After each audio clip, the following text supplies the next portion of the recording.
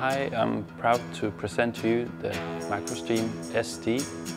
It's a system consisting of a small controller to expand the UI of the DiGiCo SD range mixing console.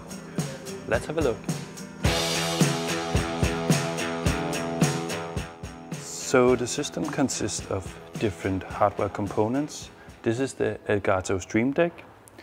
This is the Raspberry Pi 3B Plus and it needs a power supply, minimum 1.5 amps, micro USB, and furthermore a short network cable to connect the Pi on the back of the console. The software you need to flash onto a small micro SD card.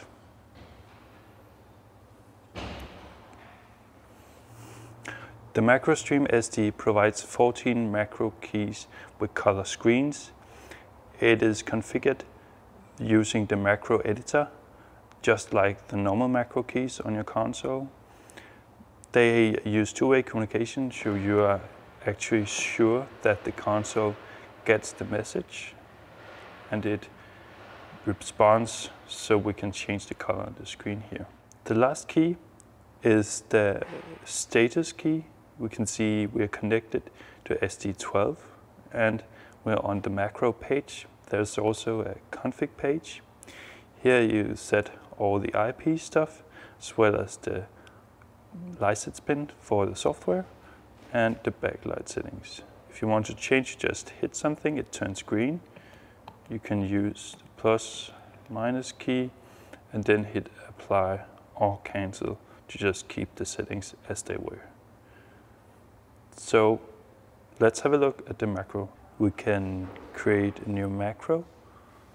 I'm gonna go to setup, macros, new, and then just put in the type, maybe uh, change between main and alternate input on an input channel. Call it something. Mm, maybe call it spare, comma to separate with the line, and the dash and R to have the color. And then we need to place it using the OSC here, and then we can hit number five. When we need to do the opposite, turn off the spare, go into the main, and use the duplicate function. Then simply put in the name for main, VL dash G for green, and we have to switch this to R. There we have it. When you load a session, the MacroStream SD gets updated automatically.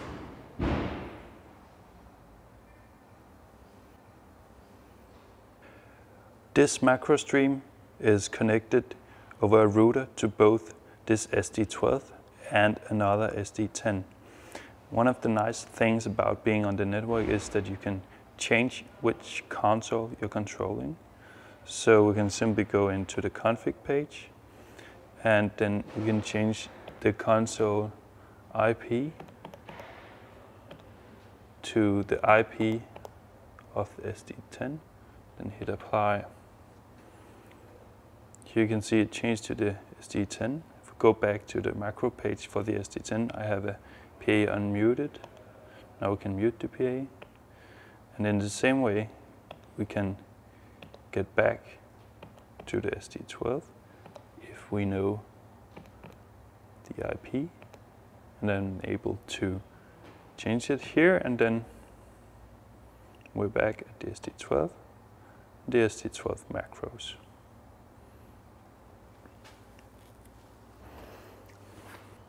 You need to buy the hardware first and then when you receive the hardware you need to type in the serial number, which is here on the back side of your Stream Deck. Then you go through a PayPal payment process and you will receive an email with download link for the software, user guide, as well as the license pin specific for your Stream Deck serial number. After you have downloaded the MacroStream SD version 1 software, unzip it and then download the Balena Etcher software. Open it and then select the unzipped image, select the SD card, and then let it do its thing.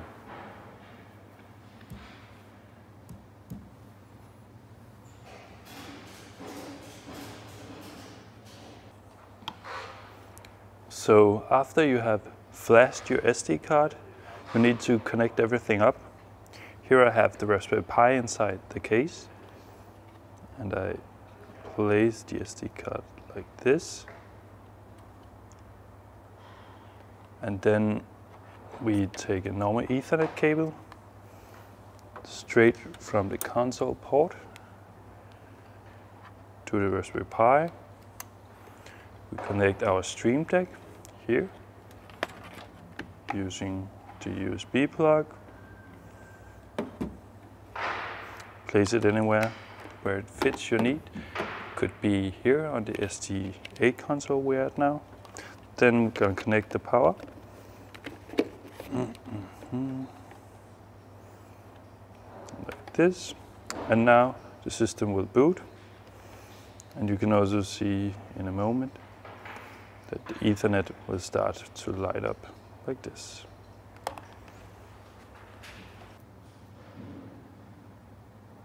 When you first turn on the MacroStream, you need to enter in your license pin.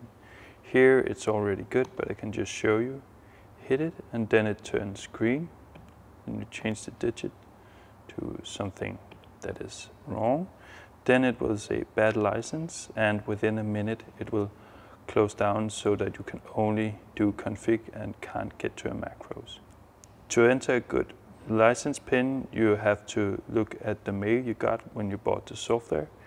Here is a special license pin that matches up with the serial number of your Stream Deck. And then it turns good. After you have provided a good license pin, you need to configure the network.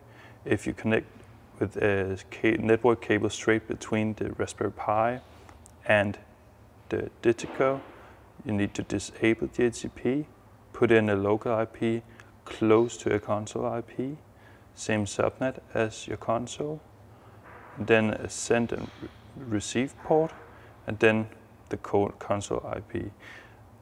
Uh, I know that this console IP is not the correct one. I think it's .100. So let's type that in.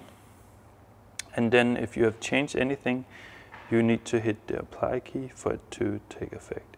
If you change the local IP, subnet or DHCP setting, the system will need to reboot. It takes like 50 seconds max. Here, when we just change the target IP, the console IP. It will just take a couple of seconds when we hit apply. And here we can see it turned green and says SD12. So now we're connected and we can go to the macro page. Then we can control stuff.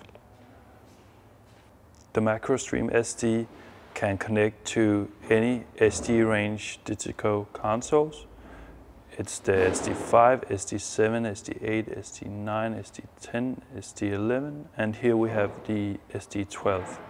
The first time you need to connect it up, go hit the setup, then hit external control, and here we need to add a device. We choose the DiGiCo Pad device. You need to put in the name, it's not important, we can call it macro stream SD, then hit next. Then we need to put in the IP address of the macro stream. I know that it's 192.168.1.1 168.1.57. The send port needs to be the opposite as the local send port on the Stream Deck. So this should be 9000. Next one should be 8000. Hit OK. Then we hit enable. And then we also need to load the commands aloud. Sometimes you'll have two different choices here. Either is fine. It says the commands are loaded. And now we just need to hit the enable external control up here.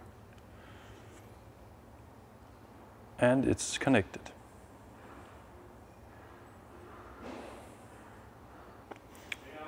If you want to switch controlling your console between the MacroStream SD and your iPad, you can simply have another device added for your iPad, the iPad IP, and then 9001 in send, 8001 in receive, and then you can just change by hitting the check mark, whether it's the MacroStream that's controlling or your iPad.